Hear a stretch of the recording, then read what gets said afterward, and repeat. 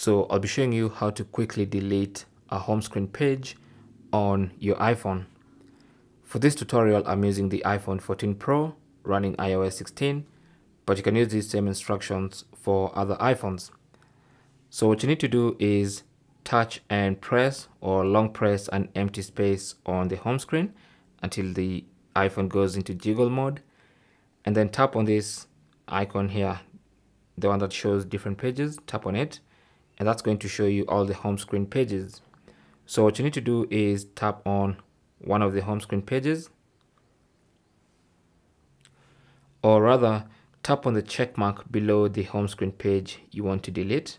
For instance if I want to delete this one this last one just tap on the check mark below it to uncheck it and then you should see the option with a minus sign appear.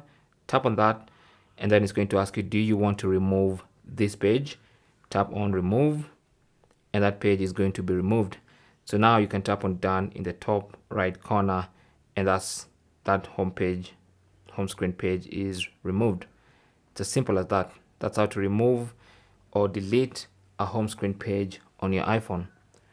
Thanks for watching. Leave your comments and questions down below and i'll talk to you guys in the next one